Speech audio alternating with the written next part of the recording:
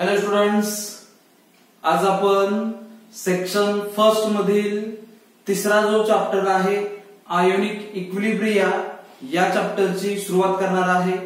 तर या ठिकाणी तुम्ही पाहू शकता आयोनिक इक्विलिब्रिया हा जो चॅप्टर आहे हा सेक्शन फर्स्ट मधील थर्ड चॅप्टर आहे. आणि हा चॅप्टर आज आपण स्टार्ट करणार आहे.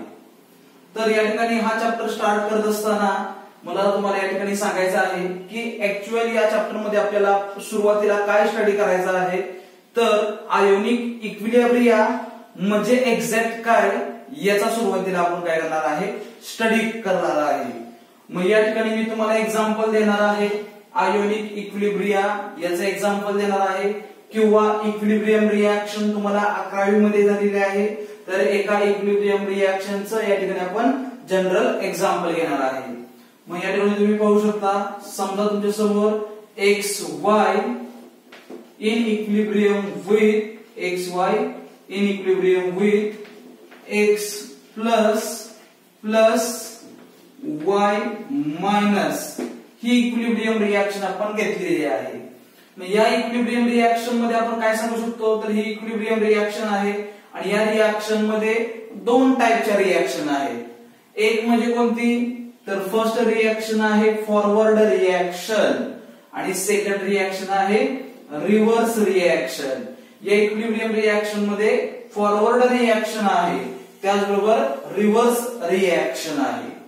मग यामध्ये आपल्याला इक्विलिब्रियम रिॲक्शनमध्ये पहिल्यांदा फॉरवर्ड रिएक्शन स्टडी करायचा आहे त्यानंतर रिव्हर्स रिॲक्शन आपण स्टडी करणार आणि त्यानंतर इक्विलिब्रियम रिॲक्शन म्हणजे काय याचा स्टडी करणार आहे. मग या ठिकाणी तुम्ही पाहू शकता फॉरवर्ड रिॲक्शन काय आहे? मग या ठिकाणी बघा एक्स वाय हा सबस्टन्स काय होणार आहे? डिसोसिएट होणार. एक्स वाय हा सबस्टन्स या एक्स वाय सबस्टन्स मधील काही सबस्टन्स काय होणार? डिसोसिएट होणार. आणि डिसोसिएट झाल्यानंतर काय तयार होणार आहे? तर X plus plus Y minus असे आयन तयार होणार आहे. एक्स वाय मधील काही सबस्टन्स डिसोसिएट होणार. फॉरवर्ड रिॲक्शनमध्ये आणि सोल्युशनमध्ये काय होणार आहे? तर एक्स प्लस आणि वाय मायनस असे आयन तयार होणार आहे. हे झालं फॉरवर्ड रिॲक्शनमध्ये. मग बॅकवर्ड रिॲक्शन काय आहे? किंवा रिव्हर्स रिॲक्शन आपण काय सांगणार आहे? तर रिव्हर्स रिॲक्शनमध्ये रिव्हर्स रिॲक्शनमध्ये हे जे सोल्युशनमध्ये एक्स प्लस आणि वाय मायनस असे आयन आहेत. सोल्युशनमध्ये जे एक्स प्लस आणि वाय मायनस आयन्स आहेत हे आयन्स काय होणार? रिकंबाईन होणार. हे दोन टाईपचे आयन एक्स प्लस आणि वाय मायनस हे आयन सोल्युशनमध्ये असणारे आयन्स रिकंबाईन होणार. आणि रिकम्बाईन झाल्यानंतर रिव्हर्स रिॲक्शन होणार. आणि रिव्हर्स रिॲक्शनमध्ये पुन्हा एक्स वाय मॉलिक्युल तयार होणार आहे. पुन्हा एकदा बघा. की फॉरवर्ड रिॲक्शनमध्ये फॉरवर्ड रिॲक्शनमध्ये एक्स वाय याचं conversion X plus plus Y मायनसमध्ये होणार. आणि reverse रिॲक्शनमध्ये X plus Y minus combine होणार. आणि पुन्हा त्यांच्यापासून एक्स वाय हा मॉलिक्युल तयार होणार आहे. ठीक आहे? मग ही झाली फॉरवर्ड रिॲक्शन त्याचबरोबर रिव्हर्स रिॲक्शन ऍक्च्युअली या दोन रिॲक्शनमध्ये काय प्रोडक्ट तयार होतो याचा या ठिकाणी आपण स्टडी केला. आता या ठिकाणी मला सांगायचं आहे इक्विलिब्रियम रिॲक्शन म्हणजे काय? कोणत्या रिॲक्शनला आपण इक्विलिब्रियम रिॲक्शन म्हणणार आहे? तर या ठिकाणी तुम्ही पाहू शकता की या रिॲक्शनमध्ये फॉरवर्ड रिॲक्शन आहे त्याचबरोबर रिव्हर्स रिॲक्शन आहे. बरोबर? आणि या दोन रिॲक्शनचा रेट ज्यावेळेस सेम असणार आहे किंवा या दोन रिॲक्शनचा रेट ज्यावेळेस इक्वल होणार आहे त्यावेळेस त्या रिॲक्शनला आपण काय म्हणणार आहे? इक्विलिब्रियम रिॲक्शन म्हणणार आहे. पुन्हा बघा की फॉरवर्ड रिॲक्शनचा रेट त्याचबरोबर रिव्हर्स रिॲक्शनचा रेट ज्यावेळेस इक्वल होणार त्यावेळेस आपण या रिॲक्शनला काय म्हणणार आहे? इक्विलिब्रियम रिॲक्शन म्हणणार आहे. काय म्हणणार आहे? इक्विलिब्रियम रिॲक्शन म्हणणार आहे. ठीक आहे? मग इक्विलिब्रियम रिॲक्शनमध्ये मला या ठिकाणी सांगायचं आहे इक्विलिब्रियम रिॲक्शनमध्ये या ठिकाणी तुम्ही पाहू शकता याला आपण काय म्हणणार आहे तर याला आपण आयन्स म्हणणार आहे. इक्विलिब्रियम रिॲक्शनमध्ये एक्स प्लस आणि वाय मायनस यांना काय म्हणणार आहे? तर सोल्युशन मधील आयन्स म्हणणार आहे. आणि एक्स वाय ला आपण काय म्हणणार आहे? तर एक्स वाय ला आपण अनआयोनाइज्ड अन आयोनाइज्ड मॉलिक्युल म्हणणार आहे. अनआयोनाइज्ड काय म्हणणार आहे? तर मॉलिक्युल म्हणणार आहे. मग यामध्ये मला तुम्हाला आयोनिक इक्विलिब्रिया किंवा आयोनिक इक्विलिब्रियम याचे डेफिनेशन सांगायचे आहे. मग डेफिनेशनचा स्टडी करत असताना एक एक्झाम्पल मी तुम्हाला देणार आहे. पहा. आपण या ठिकाणी या इक्विलिब्रियम रिएक्शनमध्ये एक्स वाय हा सबस्टन्स घेतलेला आहे. एक्स वाय हा सबस्टन्स घेतलेला आहे. जर एक्स वाय हा सबस्टन्स समजा सुरुवातीला आपण हंड्रेड ग्रॅम घेतला एक्स वाय हा सबस्टन्स सुरुवातीला आपण हंड्रेड ग्रॅम घेतलेला आहे आणि तो हंड्रेड ग्रॅम वॉटरमध्ये काय केला? ऍड केला. तो हंड्रेड ग्रॅम सबस्टन्स वॉटरमध्ये आपण काय करणार आहे? ऍड करणार आहे. मग हा हंड्रेड ग्रॅम सबस्टन्स वॉटरमध्ये ऍड केल्यानंतर तो डिसोसिएट होणार आहे. पण हंड्रेड ग्रॅम पैकी किती ग्रॅम तो डिसोसिएट होणार? तर स्मॉल एक्सटेंट म्हणजे थोड्या प्रमाणामध्ये तो करणार डिसोसिएट होणार. स्मॉल एक्सटेंट म्हणजे असं कन्सिडर करू आपण की हंड्रेड ग्रॅम पैकी फाईव्ह ग्रॅम सबस्टन्स वॉटरमध्ये काय झाला? डिसोसिएट झाला. आणि डिसोसिएट झाल्यानंतर काय तयार होणार आहे? आयन्स तयार होणार आहे. म्हणजे फाईव्ह ग्रॅम या सबस्टन्स डिसोसिएशन झाल्यानंतर त्या सबस्टन्सपासून एक्स प्लस आणि वाय मायनस असे आयन तयार होणार आहेत. म्हणजेच X Y hundred gram substance घेतला त्यापैकी फाईव्ह ग्रॅम डिसोसिएट झाला आणि डिसोसिएट झाल्यानंतर एक्स प्लस आणि वाय मायनस असे आयन तयार झालेले आहेत. म्हणजे आपण यांना काय म्हणणार आहे? तर आयन्स म्हणणार आहे. हे आयन्स तुम्ही या ठिकाणी पाहू शकता. यांना काय म्हणणार? आयन्स म्हणणार आहे. मग एक्स वाय या हंड्रेड ग्रॅम मधून पाच ग्रॅमचं डिसोसिएशन झालेलं आहे. म्हणजे शिल्लक किती राहिलेला आहे? तर नाईन्टी फाईव्ह ग्रॅम शिल्लक राहिलेला आहे. किती ग्रॅम शिल्लक राहिला? नाईन्टी फाईव्ह ग्रॅम तो शिल्लक राहिलेला आहे. मग नाईन्टी फाईव्ह ग्रॅम हा जो सबस्टन्स शिल्लक राहिलेला आहे यांना आपण काय म्हणणार? तर यांना म्हणणार आहे अनआयोनाइज्ड मॉलिक्युल नाईन्टी फाईव्ह ग्रॅममध्ये जो एक्स वाय सबस्टन्स आहे त्या सबस्टन्सला आपण काय म्हणणार? अनआयोनाइज्ड मॉलिक्युल कारण हा सबस्टन्स वॉटरमध्ये ऍड केल्यानंतर डिसोसिएट झालेला नाही.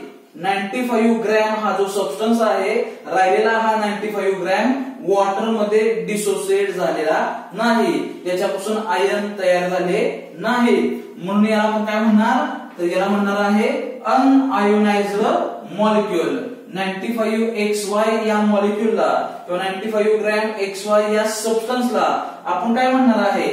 तर अनआयोनाइज्ड मॉलिक्युल म्हणणार आहे. मग ही इक्विलिब्रियम रिॲक्शन आहे आणि या इक्विलिब्रियम रिॲक्शनमध्ये काय तयार झालेलं असणार आहे? इक्विलिब्रियम तयार झालेलं असणार आहे. या इक्विलिब्रियम रिॲक्शनमध्ये इक्विलिब्रियम तयार होणार. इक्विलिब्रियम तयार होणार म्हणजेच काय?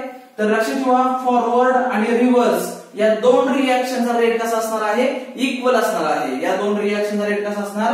इक्वल असणार. आणि मग इक्वल रेट झाल्यानंतर त्या सोल्युशनमध्ये इक्विब्रियम रिएक्शन झालेले असणार. म्हणजे त्या ठिकाणी इक्विब्रियम हा मेंटेन झालेला असणार आहे. मग जर इक्विब्रियम तयार झाला असेल तर कोणी कोणासोबत इक्विलिब्रियम केलेला आहे? तर लक्षात ठेवा या सोल्युशनमध्ये किंवा या रिएक्शनमध्ये आयन्स याचा इक्विलिब्रियम म्हणजे कशावर असणार आहे अनआयोनाइज्ड मॉलिक्युल बरोबर. म्हणजे आयन्सने अनआयोनाइज्ड मॉलिक्युल बरोबर काय तयार केलेलं आहे? इक्विलिब्रियम तयार केलेलं आहे. पुन्हा बघा. आयन्स हे जे डिसोसिएटेड आयन्स आहेत या आयन्सने अनआयोनाइज्ड मॉलिक्युल याबरोबर इक्विलिब्रियम तयार केलेलं आहे. आणि अशा टाइपच्या रिएक्शन आपण म्हणणार आयोनिक इक्विलिब्रिया किंवा आयोनिक इक्विलिब्रियम रिएक्शन म्हणणार आहे. मग यावरून आपण याची डेफिनेशन सांगू शकतो. डेफिनेशन काय सांगणार आपण? तर ही इक्विब्रियम रिएक्शन आहे आणि या इक्विब्रियम रिएक्शनमध्ये आयन्स आणि अनआयोनाइज्ड मॉलिक्युल यांच्यामध्ये काय तयार झालेलं आहे? तर इक्विब्रियम तयार झालेला आहे. म्हणून अशा रिएक्शन आपण म्हणणार आयोनिक इक्विब्रियम रिएक्शन म्हणणार आहे. डेफिनेशन या ठिकाणी आपण काय सांगू शकतो? The equilibrium the equilibrium between the equilibrium between सोल्युशनमध्ये काय तयार झालेलं आहे? इक्विलिब्रियम तयार झालेला आहे. द इक्विलिब्रियम बिटवीन कोणाच्या मध्ये इक्विलिब्रियम तयार झालेला आहे? तर आयन्स आणि अनआयोनाइज्ड मॉलिक्युल यांच्यामध्ये इक्विलिब्रियम तयार झालेला आहे. मग या ठिकाणी आपण सांगू शकतो the equilibrium between ions and unionized and unionized molecule unionized molecule is called is called ionic equilibria is called ionic equilibria म्हणजेच एक्वियस सोल्युशनमध्ये आयन्स प्रेझेंट असणार आहे. त्याचबरोबर अनआयोनाइज्ड मॉलिक्युल असणार आहे. आणि त्या सोल्युशनमध्ये या दोघांमध्ये काय तयार झालेलं आहे? इक्विलिब्रियम तयार झालेला आहे. म्हणून याला आपण काय म्हणणार आहे? आयोनिक इक्विलिब्रिया म्हणणार आहे. तर हा झाला कन्सेप्ट आयोनिक इक्विलिब्रिया म्हणजे काय? मग यामध्ये तुम्हाला अजून काय स्टडी करायचं आहे? तर यामध्ये तुम्हाला या ठिकाणी मला सांगायचं आहे की या इक्विलिब्रियम रिॲक्शनमध्ये तुम्ही एक्स वाय हा जो सबस्टन्स घेतलेला आहे या एक्स वाय सबस्टन्सला तुम्ही काय म्हणणार आहे? या रिॲक्शनमध्ये तुम्ही एक्स वाय हा जो सबस्टन्स घेतलेला आहे या सबस्टन्सला या ठिकाणी आपण काय म्हणणार आहे? तर इलेक्ट्रोलाइट म्हणणार या सबस्टन्सला आपण काय म्हणणार आहे? तर इलेक्ट्रोलाइट म्हणणार आहे. मग याला आपण इलेक्ट्रोलाइट का म्हणणार आहे? याचं काय रिझन आहे? तर त्याचं रिझन मी तुम्हाला या ठिकाणी आता सांगणार आहे की एक्स वाय या सबस्टन्सला आपण इलेक्ट्रोलाइट म्हणणार. मग एक्स वाय या सबस्टन्सला आपण इलेक्ट्रोलाइट का म्हणणार आहे? इलेक्ट्रोलाइट का म्हणणार? त्याचं काय रिझन आहे? याचं या ठिकाणी आपण स्टडी करणार आहे. मग या ठिकाणी सुरुवातीला मला या ठिकाणी सांगायचं आहे की आपण या सबस्टन्सला इलेक्ट्रोलाइट का म्हणणार? तर तुम्हाला फॅरेडे हा सायंटिस्ट नोन आहे. फॅरेडे हा सायंटिस्ट नोन आहे. तर फॅरेडे या सायंटिस्टनी काही एक्वियस सोल्युशन तयार केलेले होते. फॅरेडे या सायंटिस्टनी ज्यावेळेस एक्सपेरिमेंट करत होता तो इलेक्ट्रिसिटी वरती त्यावेळेस फॅरेडे या सायंटिस्टनी एक्वियस सोल्युशन वरती इलेक्ट्रिसिटीचा एक्सपेरिमेंट करण्यासाठी त्या ठिकाणी काही एक्वियस सोल्युशन तयार केलेले होते. आणि त्या एक्वियस सोल्युशनचा एक्सपेरिमेंट करत असताना त्यांनी इलेक्ट्रोलाइटचा शोध लावलेला आहे. मग कशा पद्धतीने इलेक्ट्रोलाइटचा शोध लावलेला आहे? तो या ठिकाणी आपण पाहणार आहे. मग या ठिकाणी मला सांगायचं आहे फॅरेडे हा सायंटिस्ट असं आपण कन्सिडर करू. फॅरेडे या सायंटिस्टने एक्वियस सोल्युशन तयार केले आहे. मग या ठिकाणी समजा फेरेडेने असं कन्सिडर करू की शुगर सोल्युशन तयार केलेलं आहे.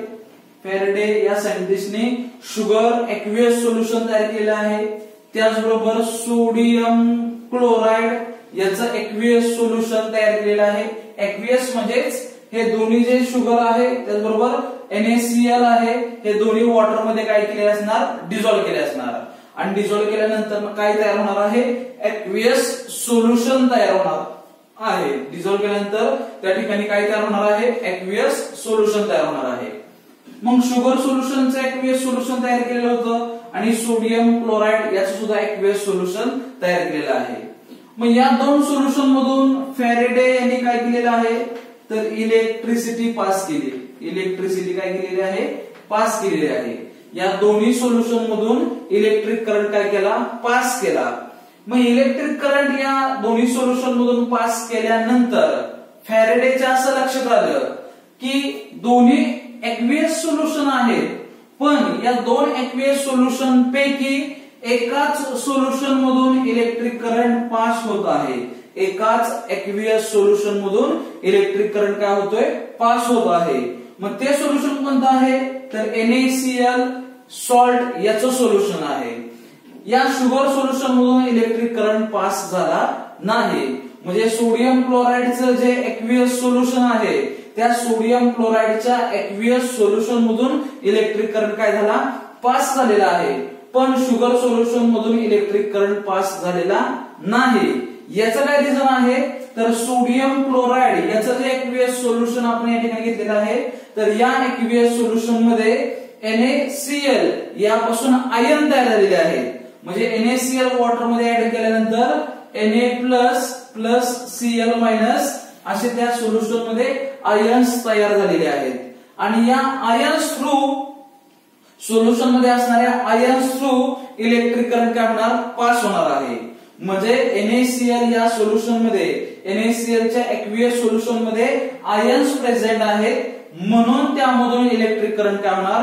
पास होणार पण सोडियम सॉरी पण शुगर सोल्युशनचा जर आपण विचार केला तर शुगर सोल्युशनमध्ये या टाईपचे आयन आहेत का? तर या टाईपचे आयन त्यामध्ये नसणार आहेत म्हणजे या ठिकाणी मला सांगायचं आहे शुगर सोल्युशनमध्ये या टाइपचे आयन प्रेझेंट नाही. मग त्यामध्ये काय आहे? तर या ऍक्वियस सोल्युशनमध्ये शुगरचे काय आहेत तर मॉलिक्युल आहेत या ऍक्वियस सोल्युशनमध्ये शुगरचे काय आहेत तर मॉलिक्युल आहेत मग शुगरचे मॉलिक्युल असतील आणि आयन्स जर त्यामध्ये प्रेझेंट नसतील तर त्यामधून इलेक्ट्रिक करंट पास होणार नाही. ज्या सोल्युशनमध्ये आयन्स असणार त्या सोल्युशन मधून काय होणार? इलेक्ट्रिक करंट पास होणार आहे. पण याच्यामधून इलेक्ट्रिक करंट पास होणार नाही कारण याच्यामध्ये आयन्स प्रेझेंट नाही.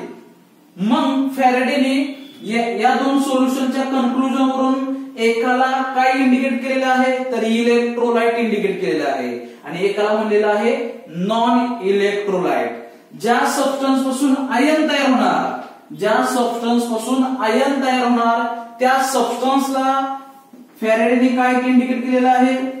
तर इलेक्ट्रोलाइट फॅरेडेने काय सांगितलेलं आहे? की ज्या सबस्टन्सपासून आयन तयार होणार अशा सबस्टन्सला आपण काय म्हणणार आहे? इलेक्ट्रोलाइट म्हणणार आहे. अशा सबस्टन्सला काय म्हणणार? इलेक्ट्रोलाइट म्हणणार आहे. आणि ज्याच्यापासून आयन तयार होणार नाहीत एक्विएस सोल्युशनमध्ये ज्या सबस्टन्सचे आयन तयार होणार नाही त्याला काय म्हणलेलं आहे? नॉन इलेक्ट्रोलाइट काय म्हणलेलं आहे? नॉन इलेक्ट्रोलाइट म्हणलेलं आहे. नॉन इलेक्ट्रोलाइट याचा अर्थ ज्याच्यामधून इलेक्ट्रिक करंट पास होणार नाही किंवा ज्याच्यापासून आयन तयार होणार नाही अशा सबस्टन्सला काय म्हणलेलं आहे? नॉन इलेक्ट्रोलाइट म्हणलेलं आहे. आणि जो सबस्टन्स पाण्यामध्ये डिसोसिएट होतो त्याच्यापासून आयन तयार होणार अशा सबस्टन्सला फॅरेडेने काय म्हणलेलं आहे? तर इलेक्ट्रोलाइट म्हणलेलं आहे. आणि अशा इलेक्ट्रोलाइट सबस्टन्स आपण या इक्विलिब्रियम रिएक्शनमध्ये काय करणार आहे? स्टडी करणार आहे. अशा इलेक्ट्रोलाइट सबस्टन्सचा या इक्विलिब्रियम रिएक्शनमध्ये काय करणार आहे? स्टडी करणार आहे. मग यानंतर माझा असा प्रश्न आहे की तुम्ही सोल्युशन या चॅप्टरमध्ये एक स्टडी केलेला आहे. कोणता स्टडी केलेला आहे? तर सोल्युशन या चॅप्टरमध्ये इलेक्ट्रोलाइटचाच तुम्ही स्टडी केलेला आहे. मग सोल्युशन या चॅप्टरमध्ये इलेक्ट्रोलाइटबद्दल तुम्हाला काय इन्फॉर्मेशन दिलेली आहे? तर सोल्युशन या चॅप्टरमध्ये इलेक्ट्रोलाइटबद्दल तुम्हाला सांगितलेलं आहे की इलेक्ट्रोलाइट हे दोन टाईपचे आहेत. एक स्ट्रॉंग इलेक्ट्रोलाइट त्याचबरोबर वीक इलेक्ट्रोलाइट मग या ठिकाणी आपण स्ट्रॉंग इलेक्ट्रोलाइट यूज करणार का वीक इलेक्ट्रोलाइट यूज करणार आहे? याचा स्टडी करणार आहे आता. मग या ठिकाणी तुम्ही पाहू शकता की आपण दोन टाईपचे इलेक्ट्रोलाइटचा सोल्युशनमध्ये स्टडी केलेला आहे. स्ट्रॉंग इलेक्ट्रोलाइट त्याचबरोबर वीक इलेक्ट्रोलाइट त्यामध्ये पहा या ठिकाणी तुम्ही पाहू शकता की स्ट्रॉंग इलेक्ट्रोलाइट त्याचबरोबर वीक इलेक्ट्रोलाइट अशा दोन इलेक्ट्रोलाइटचा या ठिकाणी आपण स्टडी करणार आहे. मग कशासाठी करणार? तर या ठिकाणी कोणत्या टाईपचा इलेक्ट्रोलाइट युज केला जातो? स्ट्रॉंग का वीक यासाठी आपण या दोन्ही टाईपचा स्टडी करणार आहे. मग स्ट्रॉंग इलेक्ट्रोलाइट आपण कशाला म्हणणार आहे? तर स्ट्रॉंग इलेक्ट्रोलाइट ऍसिड असणार आहे. त्याचबरोबर बेस असणार आहे त्याचबरोबर सॉल्ट इलेक्ट्रोलाइट सुद्धा असणार आहे.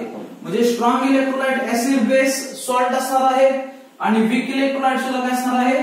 तर ऍसिड असणार आहे त्याचबरोबर बेस असणार आहे त्याचबरोबर सॉल्ट असणार आहे. ठीक आहे? वीक इलेक्ट्रोलाइट ऍसिड असणार बेस असणार सॉल्ट असणार. ठीक आहे? म्हणजे ऍसिड टाइपचे सुद्धा असणार वीक इलेक्ट्रोलाइट बेस टाइपचे सुद्धा असणार सॉल्ट या टाइपचे सुद्धा असणार आहे. आणि स्ट्रॉंग इलेक्ट्रोलाइट ऍसिड बेस आणि सॉल्ट सुद्धा असणार आहे. मग स्ट्रॉंग इलेक्ट्रोलाइट आपण कशाला म्हणणार आहे? स्ट्रॉंग इलेक्ट्रोलाइट आपण कशाला म्हणणार? जो इलेक्ट्रोलाइट वॉटरमध्ये ऍड केल्यानंतर कम्प्लिटली डिसोसिएट होतो. कम्प्लिटली डिसोसिएट होणार म्हणजे हंड्रेड पर्सेंट त्याचं काय होणार आहे? आयन फॉर्मेशन होणार आहे. किंवा हंड्रेड पर्सेंट तो काय होणार आहे? डिसोसिएट होणार. अशा इलेक्ट्रोलाइटला आपण काय म्हणणार? स्ट्रॉंग इलेक्ट्रोलाइट म्हणणार आहे. जो इलेक्ट्रोलाइट वॉटरमध्ये ऍड केल्यानंतर कम्प्लिटली डिसोसिएट होतो. अशा इलेक्ट्रोलाइटला आपण काय म्हणणार? स्ट्रॉंग इलेक्ट्रोलाइट म्हणणार. समजा ऍसिडचं एक्झाम्पल घेतलं तर ऍसिडचं एक्झाम्पल काय घेणार आपण? एससीएल वॉटरमध्ये वॉटरमध्ये ऍड केल्यानंतर कम्प्लिटली डिसोसिएट होणार आणि H plus CL minus ion तयार होणार आहे. बरोबर? बेस मध्ये जर आपण एक्झाम्पल घेतलं तर N A O H sodium hydroxide हा कम्प्लिटली डिसोसिएट होणार वॉटरमध्ये सॉल्टमध्ये आपण मगाशी एक्झाम्पल घेतलेला आहे एनएसीएल हा काय होणार आहे? कम्प्लिटली डिसोसिएट होणार आहे. मग स्ट्रॉंग इलेक्ट्रोलाइटचा या ठिकाणी आपण युज करणार का? तर स्ट्रॉंग इलेक्ट्रोलाइटचा या इक्विब्रियम रिएक्शनमध्ये आपण युज करणार नाही किंवा स्टडी करणार नाही. कारण या ठिकाणी कोणता इलेक्ट्रोलाइट युज केला जातो? जो पार्शली डिसोसिएट होतो. म्हणजे जो जो सबस्टन्स पार्शली डिसोसिएट होतो त्या सबस्टन्स या ठिकाणी आपण युज करणार. पण स्ट्रॉंग इलेक्ट्रोलाइट हा पार्शली डिसोसिएट होतो का? तर नाही. स्ट्रॉंग इलेक्ट्रोलाइट हा हंड्रेड पर्सेंट डिसोसिएट होतो. म्हणून स्ट्रॉंग इलेक्ट्रोलाइटचा या ठिकाणी आपण युज करणार नाही. मग कशाचा युज करणार? म्हणजे नक्कीच आपण कशाचा युज करणार आहे? तर वीक इलेक्ट्रोलाइटचा युज करणार आहे. कारण वीक इलेक्ट्रोलाइट हा कम्प्लिटली डिसोसिएट होत नाही. वीक इलेक्ट्रोलाइट हा पाण्यामध्ये टाकल्यानंतर कम्प्लिटली डिसोसिएट होत नाही. तो पार्शली काय होतो? डिसोसिएट होतो. आणि जर तो पार्शली डिसोसिएट होत असेल एक्वियस सोल्युशनमध्ये किंवा वॉटरमध्ये जर तो पार्शली डिसोसिएट होत असेल तर लक्षात ठेवा त्या एक्वियस सोल्युशनमध्ये काय असणार आहे? तर त्या एक्वियस सोल्युशनमध्ये अनआयोनाइज्ड मॉलिक्युल सुद्धा असणार आहे आणि आयन्स असणार आहे. काय म्हणतोय बघा? वीक इलेक्ट्रोलाइट हा पार्शली डिसोसिएट होतो. कम्प्लिटली डिसोसिएट होत नाही. आणि असं असेल तर वीक इलेक्ट्रोलाइटपासून वीक इलेक्ट्रोलाइटपासून एक्विएस सोल्युशनमध्ये काय तयार होणार? आयन्स तयार होणार आहे त्याचबरोबर अनआयोनाइज्ड मॉलिक्युल त्यामध्ये असणार आहे ठीक आहे?